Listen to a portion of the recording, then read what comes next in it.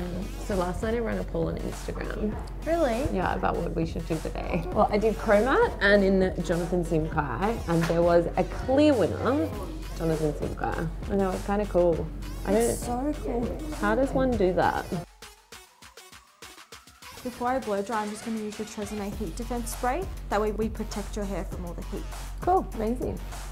So with the Inspo, it's super sleek, but I think we'll change it up and I'm going to add some texture instead.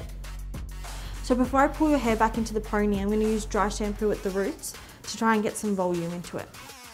I'm really liking the shape, so now I'm just going to start pulling it back. Yep. And just leaving like some wispy bits out. I'm about to use the Tresemme Extra Control Mousse just for the rope. I mm-hmm. think it'll sit better. Okay. It'll hold in the flyaways as well.